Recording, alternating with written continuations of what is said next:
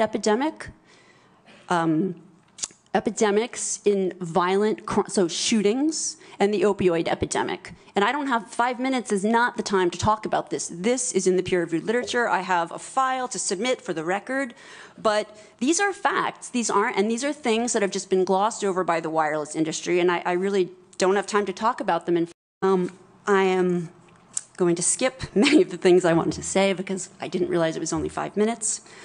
Wireless radiation has biological effects, period. This is no longer a subject for debate when you look at PubMed and the peer reviewed literature. These effects are seen in all life forms plants, animals, insects, microbes. In humans, we have clear evidence of cancer now. There is no question. Um, we have evidence of DNA damage, cardiomyopathy, which is the precursor of congestive heart failure, neuropsychiatric effects. So 5G is not a conversation about whether or not these biological effects exist. They clearly do. 5G is a conversation about unsustainable healthcare expenditures. Why do I say this? We've been sitting on the evidence for EMR and chronic disease for decades. Um, and now we are seeing all these epidemics appearing. So diabetes is the first epidemic. I think most of you know the statistics. They're very scary. One in three American children will become diabetic in their lifetime, and if they're Hispanic females, the number is one in two. Okay. So what does this have to do with wireless radiation? Wireless radiation and other electromagnetic fields, such as magnetic fields and dirty electricity, have been clearly associated with elevated blood sugar and diabetes. That is what the peer reviewed literature says. It is not opinion. The closer you live to a cell tower, the higher your blood glucose. That is based on hemoglobin A1C measurements. So the idea with small cells of putting the cells closer to people's homes and bedrooms scientifically is very dangerous. And from an economic perspective, it's dangerous. And you may not know this. I was shocked to find this out. But the way you create a, a model of diabetes in rats in the lab is by exposing them to 2.4 gigahertz. And this is not for long-term exposure. Um, so I don't have time to talk about the costs, but the huge problem with diabetes really is chronic kidney disease. Um, End-stage renal disease, the worst complication of diabetes, leads to hemodialysis. Hemodialysis is an automatic qualification for Medicare. Um, and if you don't qualify for Medicare, we still have to dialyze the patient. And the state ends up paying in many different instances.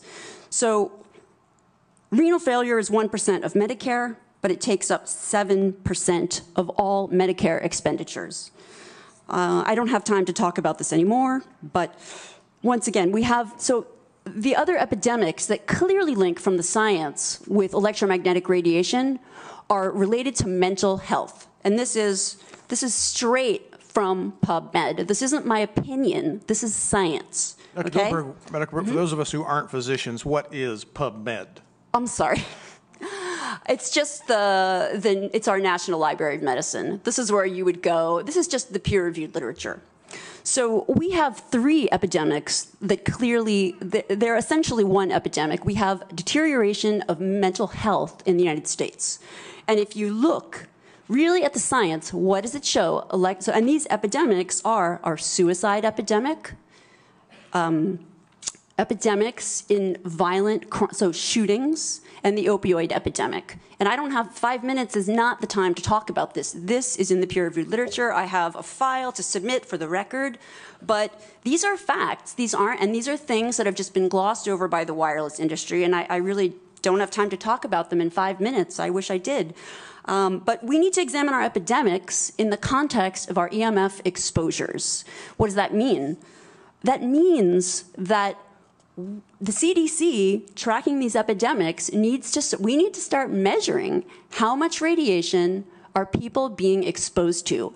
And before we roll out 5G, and this means there are four kinds of electromagnetic fields that we know are harmful to human health. So radio frequency radiation, magnetic fields, dirty electricity, and electric fields, okay? Our exposure, any given person and all humans are affected by EMFs. Our given exposure has nothing to do with the research that, that my colleagues are going to cite with the National Toxicology Program. That is an assessment of the risk of one cell phone in the near field, okay? What is our exposure in a, in a day? It's not one cell phone. It's cell phones, it's multiple wireless networks, it's smart meters, it's cell towers. It's this sandwich, and it all adds up. And this is a, this is a serious problem for occupational health, public safety, and personal safety. And I feel that it's irresponsible to be even talking about the Internet of Things and rolling out a new untested technology when we're not even measuring what are our current exposures from the current networks.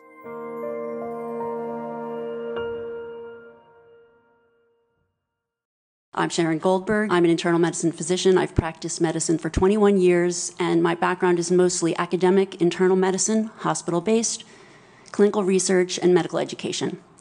Um, I am going to skip many of the things I wanted to say because I didn't realize it was only five minutes.